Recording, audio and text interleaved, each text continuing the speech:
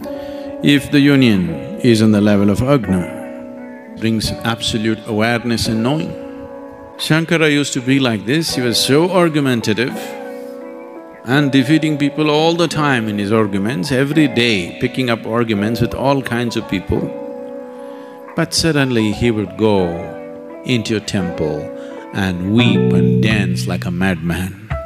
People would be shocked. We thought you were a man of reason. What are you crying? Like this. Like those buffoons who call themselves devotees, like them you're crying? We thought you're a man of true intellect. He would say, that's for the world, my logic is for the world, this is for me